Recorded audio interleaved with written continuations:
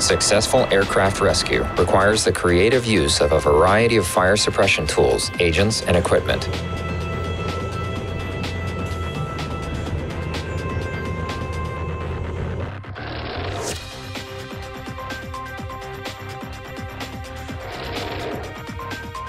Firefighters should know the purpose and location of each tool.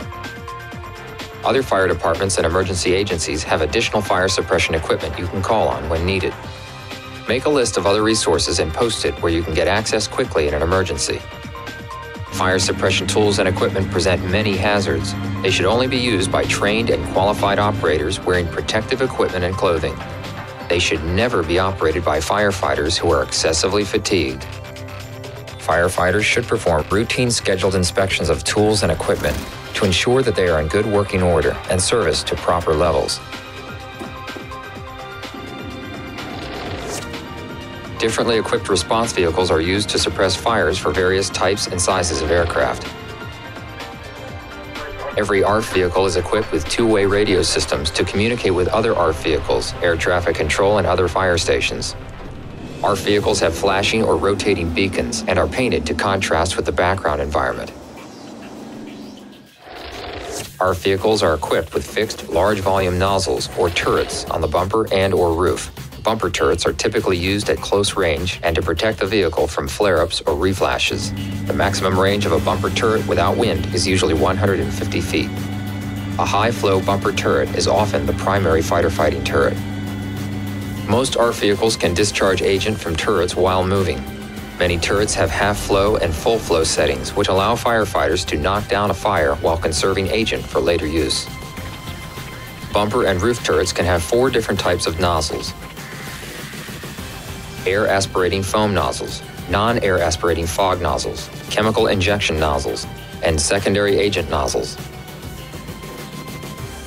A non-air aspirating fog nozzle provides greater reach and stream distance than an aspirating nozzle. It also provides a protective wide fog setting for high radiated heat situations. In some instances, it may be quicker to extinguish a fire with non-aspirating nozzles than with conventional low expansion devices. There are fewer air bubbles in foam, so it is denser than aerated foams. This allows the foam to better penetrate the fire's thermal updraft or chimney effect and produce aqueous film faster. Truck mounted and handheld piercing nozzles can be used to inject water, foam, and complementary agents through the skin of an aircraft.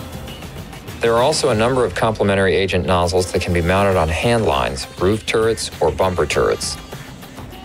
A twin agent handline nozzle provides the option to use foam, dry chemicals, or a combination of both from a single nozzle.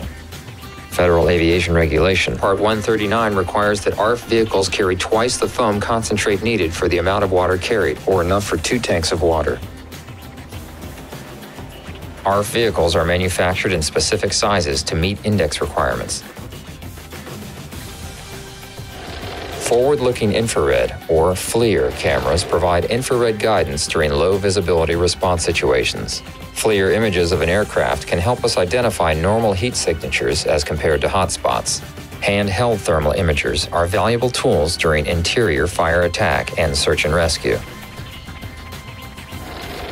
The Driver's Enhanced Vision System, or DEVS, uses FLIR and other technologies to help drivers with three difficult aspects of poor visibility response navigating to the accident site, locating the accident, and negotiating terrain and obstacles on the way to the accident site. DEVS can be implemented as a standalone system on an ARFF vehicle with no tracking or communication capability, or as a fully integrated system with an emergency command center. The DEVS navigation system provides the ARFF vehicle driver with the vehicle's location and helps navigate to the accident site. The tracking system helps the driver locate and navigate to the accident site. This capability will reduce driver communication workload and improve the situational awareness of the driver and command or dispatch personnel.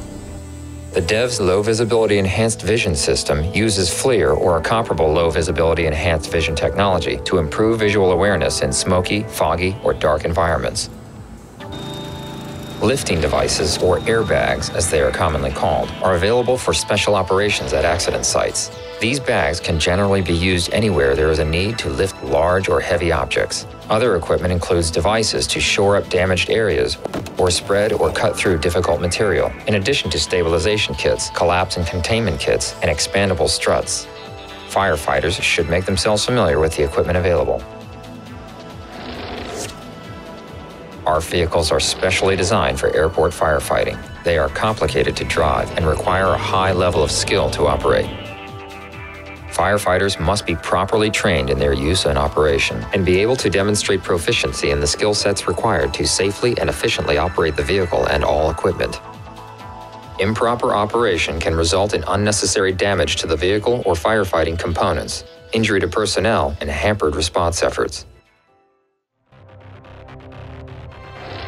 Hand lines are used to extinguish small fires that are inaccessible to turrets or for the application of complementary agents.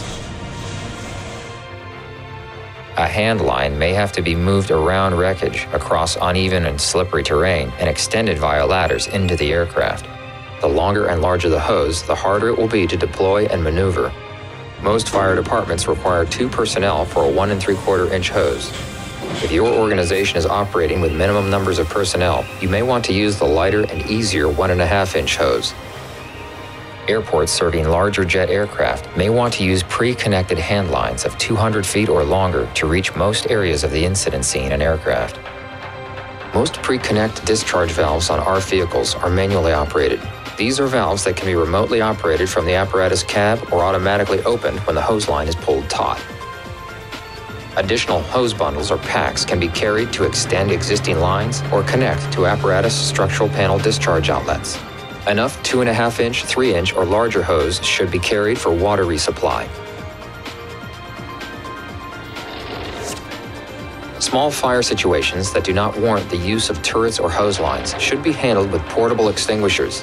The NFPA recommends a minimum of two approved portable fire extinguishers on ARFF vehicles. There are handheld extinguishers for all four classes of fire A, B, C, and D. They are usually pressure or cartridge operated. Water extinguishers are good for Class A fires. A Class A foam concentrate discharge tip can be added to make water extinguishers more effective on Class A and B fires. Almost every ARFF vehicle will have some type of dry chemical extinguisher, but ABC rated dry chemical is not recommended for aircraft fires because it has a messy Class A extinguishing mechanism.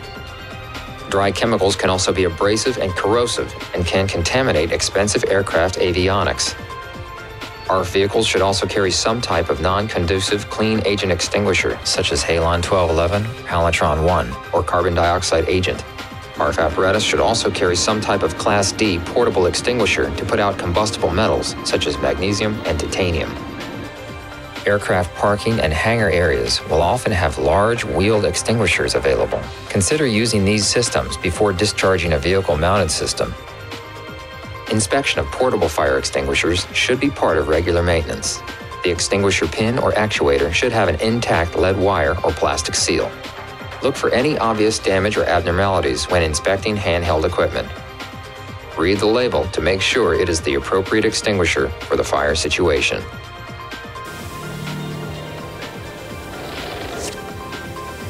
ARFF vehicles carry large quantities of water, foam concentrate, and complementary agents. Foam tanks are sized to carry sufficient quantities of foam concentrate to supply the ARFF vehicle through the discharge of at least two full tanks of water. ARFF departments and mutual aid departments must have compatible hose connections or proper adapters available. Make sure the correct type of foam is being added to the tank. All Part 139 airports should be using Mil-Spec 3 or 6% AFFF foam as their resupply agent. Our vehicles are calibrated and tested to deliver foam at the proper proportion for either 3 or 6% concentrates to ensure quality and consistency of the agent. Foam can be added to the tank through top fill or bottom fill connections.